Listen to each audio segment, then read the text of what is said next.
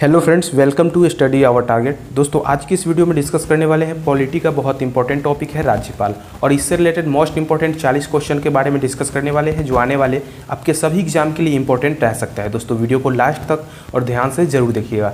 सबसे पहले राज्यपाल के बारे में बेसिक इन्फॉर्मेशन जान लेते हैं, उसके बाद फिर एम क्वेश्चन से स्टार्ट करेंगे, ठीक है?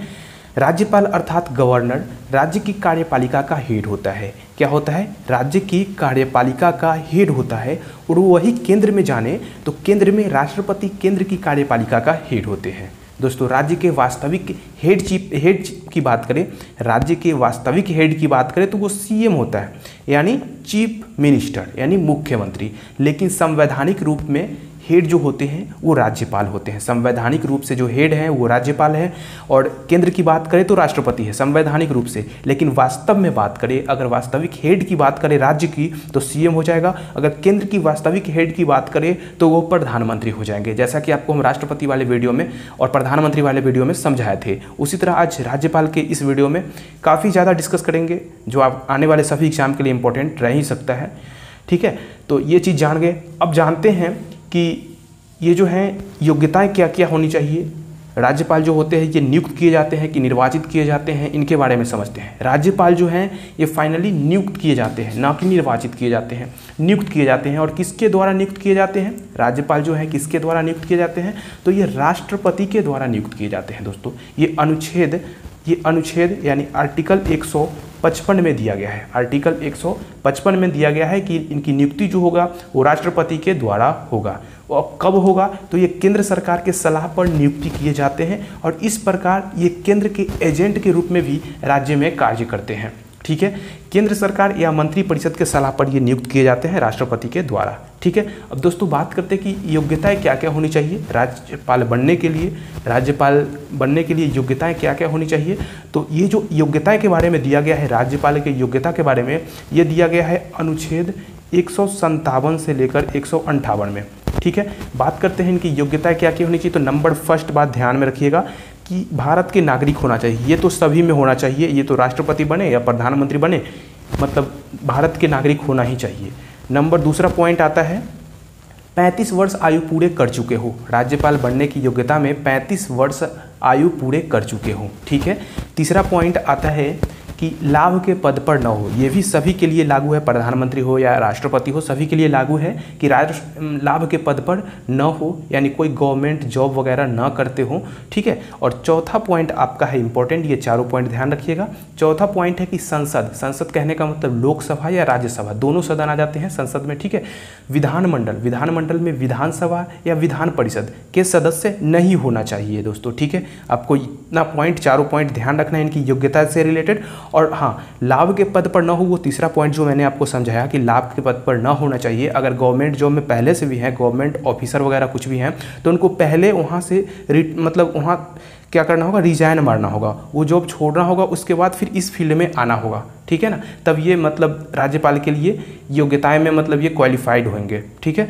तो इतना बात आप समझ गए अच्छे से। अब चलिए एम क्वेश्चन से स्टार्ट करते हैं। राज्यपाल से रिलेटेड जितने भी इंपॉर्टेंट क्वेश्चन बन सकते हैं, वो चालीस वीडियो चालीस क्वेश्चन में आपका हर क्वेश्चन कवर हो जाएगा। चलिए फ़र्स्ट क्वेश्चन से स्टार्ट करते हैं। फ़र्स्ट क्वेश्चन है राज्य की कार्यपालिका शक्ति किसमें निहित तो होती है? दोस्तों, इसका सही आंसर ऑप्शन नंबर बी हो जाएगा राज्यपाल में। राज्य की कार्यपालिका शक्ति किसमें निहित होती है? तो राज्यपाल में होती है। अभी आपको हम समझाए हैं कि राज्यपाल अर्थात गवर्नर जो होता है, वो राज्य की कार्यपालिका का हेड होता है। इसलिए राज्य की कार्यपालिका शक्ति तो राज्यपाल में निहित होगा ही होगा ना, क्योंकि हेड है। चलिए नेक्स्ट क्वेश्चन देखते हैं। क्वेश्चन नंबर टू है। राज्य सरकार का कार्यकारी अध्यक्ष कौन है? इसका सही आंसर ऑप्शन नंबर बी हो जाएगा राज्यपाल यानी गवर्नर नेक्स्ट क्वेश्चन देखते हैं क्वेश्चन नंबर थ्री है। भारतीय राज्यों में राज्यपाल की नियुक्ति कौन करता है? इसका सही आंसर ऑप्शन नंबर डी हो जाएगा, राष्ट्रपति। ये तो पहले भी बता चुके हैं कि राष्ट्रपति करता है। अनुच्छेद 155 में दिया गया है, ठीक है? नेक्स्ट क्वेश्चन देखते हैं क्वेश्चन नंबर फोर है। राज्यपाल अपना त्याग पत्र किसे देता है? राज्यपाल अपना त्याग पत्र किसे देता है? तो राष्ट्रपति को देता है। नेक्स्ट क्वेश्चन देखते हैं क्वेश्चन नंबर फाइव है। निम्न में से किसको हटाने का प्रावधान संविधान में नहीं है? दोस्तों, इसका सही आंसर ऑप्शन नंबर सी हो जाएगा गवर्नर यानी राज्यपाल को हटाने का प्रावधान जो है वो संविधान में नहीं है। इसका अर्थ ये होता है, इसका अर्थ ये होता है कि इनका कार्यकाल जो होता है सामान्यतः यानी जनरली पाँच वर्ष का होता है। आपसे एग्ज़ाम में अगर पूछा जाए तो पाँच वर्ष का होता है।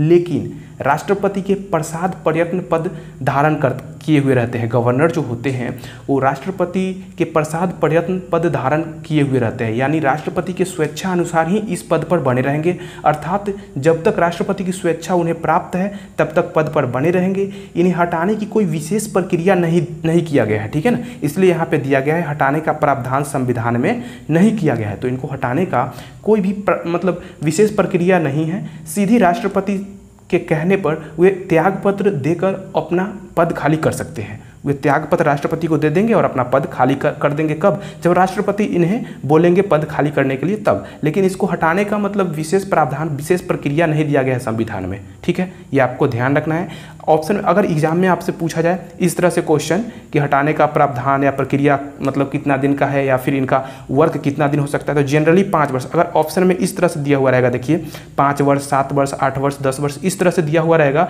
तो आप पाँच वर्ष लगाएँगे। अगर ऑप्शन में राष्ट्रपति उपराष्ट्रपति गवर्नर अटॉर्नी जनरल इस तरह से आपको दिया रहेगा। आपको इस तरह से दिया रहेगा तो आपको गवर्नर लगाना है, ठीक है ना? और कौन हटा सकता है इसको? मतलब कौन हटा सकता है? किसके स्वेच्छा अनुसार ये कार्य करते हैं? तो राष्ट्रपति के स्वेच्छा अनुसार ये कार्य करते हैं गवर्नर ठीक है ना? यानी राज्यपाल।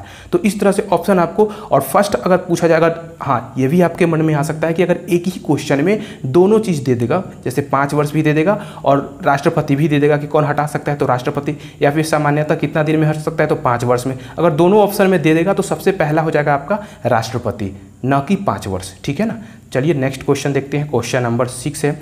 निम्नलिखित में से किसको महाभियोग के बिना हटाया जा सकता है? दोस्तों, इसका सही आंसर हो जाएगा ऑप्शन नंबर सी किसी राज्य के राज्यपाल को, क्योंकि कोई प्रावधान ही नहीं किया गया संविधान में, किसी अनुच्छेद में कोई इनका मतलब विवरण नहीं किया गया, वर्णन नहीं किया गया है कि इनको कैसे, किस महाभियोग चलाकर हटाया जा सकता है। मतलब बिना महाभियोग चलाए हुए राष्ट्रपति के कहने पर ये अपना त्यागपत्र राष्ट्रपति को दे देंगे। नेक्स्ट क्वेश्चन देखते हैं। क्वेश्चन नंबर सेवन है। भारतीय संविधान के अनुसार राज्य का अधिशासी प्रधान कौन होता है? दोस्तों, इसका सही आंसर ऑप्शन नंबर ए हो जाएगा राज्यपाल। नेक्स्ट क्वेश्चन देखते हैं। क्वेश्चन नंबर एट है। राष्ट्रपति किसकी सलाह पर किसी राज्य के राज्यपाल की नियुक्ति करते हैं? दोस्तों, इसका सही आंसर ऑप्शन नंबर सी हो जाएगा।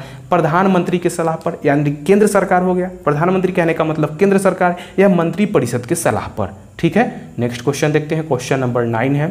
राज्य सरकार का संवैधानिक प्रमुख होता है। राज्य सरकार का संवैधानिक प्रमुख होता है तो राज्यपाल होता है। ऑप्शन नंबर डी करेक्ट हो जाएगा। नेक्स्ट क्वेश्चन देखते हैं। क्वेश्चन नंबर दस है। सामान्य रूप से राज्यपाल का कार्यकाल होता है। सामान्य रूप से सामान्य रूप से राज्यपाल का कार्यकाल होता है। देखिए, इस तरह से अगर क्वेश्चन आएगा तो इसका पाँच वर्ष आंसर हो जाएगा, ठीक है ना? ऑप्शन नंबर सी करेक्ट हो जाएगा। नेक्स्ट क्वेश्चन देखते हैं। क्वेश्चन नंबर ग्यारह है। राज्य, राज्यपाल राज्य में किसका प्रतिनिधि होता है? तो इसका सही आंसर ऑप्शन नंबर ए हो जाएगा, राष्ट्रपति का। राज्यपाल राज्य में किसका प्रतिनिधि होता है? तो राष्ट्रपति का प्रतिनिधि होता है। नेक्स्ट क्वेश्चन देखते हैं। क्वेश्चन नंबर अगला देखते हैं। इसमें कुछ गड़बड़ी है। या फिर यूँ कह सकते हैं कि ये थोड़ा पुराना क्वेश्चन हो गया। ये जो क्वेश्चन नंबर बारह था, ये थोड़ा पुराना, यानी ओल्ड मॉडल क्वेश्चन है। उसमें थोड़ा चेंजिंग वगैरह करना है। देख लेंगे, है ना? क्वेश्चन नंबर तेरह है, उपराज्यपाल की नियुक्ति कौन करता है? उपराज्यपाल की नियुक्ति कौन करता है? दोस्तों, इसका सही आंसर ऑप्शन नंबर ए हो जाएगा, राष्ट्रपति करता है। नेक्स्ट क्वेश्चन देखते हैं क्वेश्चन नंबर चौदह है। राज्यपाल पद पर, राज्यपाल पद पर बना रहता है। राज्यपाल पद पर बना रहता है तो दोस्तों सही आंसर हो जाएगा राज्यपाल जो है, ये पद पर बना रहता है। राष्ट्रपति के प्रसाद प्रयत्न, ऑप्शन नंबर सी, करेक्ट हो जाएगा। राष्ट्रपति के प्रसाद प्रयत्न। देखिए, इस तरह से आपसे देखिए, यहाँ पे दोनों ऑप्शन आ गया ना, पाँच वर्ष के लिए और राष्ट्रपति के प्रसाद प्रयत्न। दोनों ऑप्शन आ गया ना। हम आपको पहले क्या बोले थे कि अगर दोनों ऑप्शन रहेगा तो सबसे पहले कौन सा आंसर होगा? तो राष्ट्रपति के प्रसाद प्रयत्न हो जाएगा। ऑप्शन नंबर सी यहाँ पे करेक्ट हो जाएगा। न कि ऑप्शन नंबर ए हो जाएगा। अगर वर्षों में दिया होता तो पाँच वर्ष हो जाता। अगर इस तरह से दोनों दिया है तो राष्ट्रपति के प्रसाद प्रयत्न हो जाएगा। ठीक है? Next question. देखते हैं। क्वेश्चन नंबर पंद्रह है। क्वेश्चन नंबर पंद्रह में दिया गया है, राज्यपाल को प्रति माह कितना वेतन प्राप्त होता है? राज्यपाल को प्रति माह कितना वेतन प्राप्त होता है? देखिए, इसमें मतलब ऑप्शन में छोड़ा गया है, ऑप्शन में टाइप नहीं किया गया है। यहाँ पे साढ़े तीन लाख हो जाएगा, ठीक है ना? साढ़े तीन लाख ऑप्शन डी कर लीजिए आप, साढ़े तीन लाख। राज्यपाल को प्रति माह कितना वेतन प्राप्त होता है? तो साढ़े तीन लाख प्राप्त होता है, ठीक है? नेक्स्ट क्वेश्चन देखते हैं। क्वेश्चन नंबर सोलह है। राज्यपाल का वेतन और भत्ता किस कोष से आता है? तो इसका सही आंसर हो जाएगा ऑप्शन नंबर बी, राज्य की संचित निधि से आता है। कहाँ से आता है? तो राज्य की संचित निधि से आता है। नेक्स्ट क्वेश्चन देखते हैं। क्वेश्चन नंबर सत्रह है। राष्ट्रपति शासन में राज्य का प्रमुख शासन संचालक कौन होता है? इसका सही आंसर ऑप्शन नंबर बी हो जाएगा राज्यपाल होता है। नेक्स्ट क्वेश्चन देखते हैं। क्वेश्चन नंबर अठारह है। राज्य मंत्री परिषद का गठन कौन करता है? राज्य मंत्री परिषद का गठन कौन करता है? तो इसका सही आंसर ऑप्शन नंबर ए हो जाएगा। राज्यपाल करता है। नेक्स्ट क्वेश्चन देखते हैं। क्वेश्चन नंबर उन्नीस है। किसी भारतीय राज्य के राज्यपाल से संबंधित निम्नलिखित में से कौन सा कथन सही नहीं है? दोस्तों, इसका सही आंसर ऑप्शन नंबर सी हो जाएगा। ये जो है, ये ऑप्शन सही नहीं है। यदि संबंधित राज्य की विधायिका उसे पद से हटाने, हटाए जाने के लिए प्रस्ताव पारित करती है तो वह पद मुक्त किया जा सकता है। नेक्स्ट क्वेश्चन देखते हैं। क्वेश्चन नंबर 20 है। राज्यों के गवर्नर राज्यों के गवर्नर यानी राज्यपाल संविधान के अंतर्गत किस किसके प्रति अपने आचरण के लिए उत्तरदायी होते हैं? सही आंसर ऑप्शन नंबर डी हो जाएगा। ऑब्वियस सी बात है कि राष्ट्रपति के प्रति ही उत्तरदायी होगा, क्योंकि राष्ट्रपति इनको नियुक्त करते हैं। नेक्स्ट क्वेश्चन देखते हैं। क्वेश्चन नंबर 21 है। भारतीय संविधान के अनुसार राज्यों की विधायिका में सम्मिलित है। इसका सही आंसर नीचे देखते हैं, क्योंकि नीचे कूट दिया गया है। ठीक है ना? तो भारतीय संविधान क्वेश्चन एक बार और रिपीट कर लेते हैं। भारतीय संविधान के अनुसार राज्यों की विधायिका में सम्मिलित है। नीचे देखते हैं। ऑप्शन नंबर नंबर चार में दिया गया है राज्यपाल, विधानसभा एवं विधान परिषद जहाँ इसका अस्तित्व है। चार नंबर कूट यहाँ पे सही हो जाएगा। ऑप्शन नंबर डी करेक्ट हो जाएगा। केवल चार सही है, ठीक है? नेक्स्ट क्वेश्चन देखते हैं। क्वेश्चन नंबर बाईस है। निम्नलिखित में से कौन भारत के राष्ट्रपति की इच्छा तक ही पद पर बना रहता है? तो इसका सही आंसर क्या हो जाएगा? स्टार्टिंग में ही हम बता चुके हैं। राज्यपाल राज्यपाल जो है ये राष्ट्रपति की इच्छा तक ही पद पर बना रहेगा। जब राष्ट्रपति कह दे, वो मतलब त्याग पत्र दे देगा राष्ट्रपति के पास और ये पद खाली कर देगा, ठीक है? नेक्स्ट क्वेश्चन देखते हैं क्वेश्चन नंबर तेईस है। राज्यपाल के पद पर नियुक्त की न्यूनतम उम्र सीमा कितना होना चाहिए? तो बता चुके हैं, पैंतीस वर्ष होना चाहिए। नेक्स्ट क्वेश्चन देखते हैं क्वेश्चन नंबर चौबीस है। राज्यपाल को पद की गोपनीयता की शपथ कौन दिलवाता है? राज्यपाल को पद की गोपनीयता की शपथ कौन दिलवाता है? तो इसका सही आंसर ऑप्शन नंबर सी हो जाएगा, राज्य के उच्च न्यायालय के मुख्य न्यायाधीश।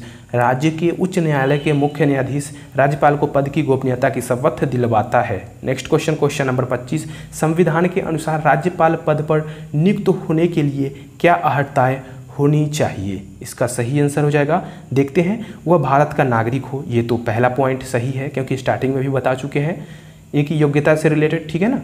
पैंतीस वर्ष की आयु पूरी कर चुके हो, ये तो सही हो जाएगा। ऑप्शन नंबर बी देखते हैं वह संसद या किसी राज्य के विधानमंडल का सदस्य न हो। देखिए यहाँ पे न हो तो ये भी सही है। नीचे देखते हैं ऑप्शन सी में हम वह कोई अन्य लाभ का पद धारण न करता हो, ये भी सेटिस्फाइड है, क्योंकि ये भी स्टार्टिंग में बताए हैं। ऑप्शन नंबर डी यहाँ पे सही हो जाएगा, उपयुक्त सभी सेटिस्फाइड करता है। नेक्स्ट क्वेश्चन देखते हैं क्वेश्चन नंबर 26 है, राज्यपाल की नियुक्ति से संबंधित महत्वपूर्ण परंपरा है। दोस्तों, इसका सही आंसर ऑप्शन नंबर ए होगा एक राज्य में किसी अन्य राज्य के निवासी को ही राज्यपाल नियुक्त किया जा सकता है। एक राज्य में किसी अन्य राज्य के निवासी को ही राज्यपाल नियुक्त किया जा सकता है। नेक्स्ट क्वेश्चन देखते हैं। क्वेश्चन नंबर 27 है। राज्यपाल को निम्नलिखित में से किस प्रकार की शक्ति प्राप्त नहीं है? इसका सही आंसर ऑप्शन नंबर सी हो जाएगा। सैन्य एवं राजनयिक शक्ति। सैन्य एवं राजनयिक शक्ति। नेक्स्ट क्वेश्चन देखते हैं क्वेश्चन नंबर 28 है। राज्यपाल निम्नलिखित में से किसकी नियुक्ति नहीं करता है? राज्यपाल निम्नलिखित में से किसकी नियुक्ति नहीं करता है? तो राज्य के उच्च न्यायालय के सदस्य की नियुक्ति नहीं करता है। ऑप्शन नंबर डी करेक्ट हो जाएगा।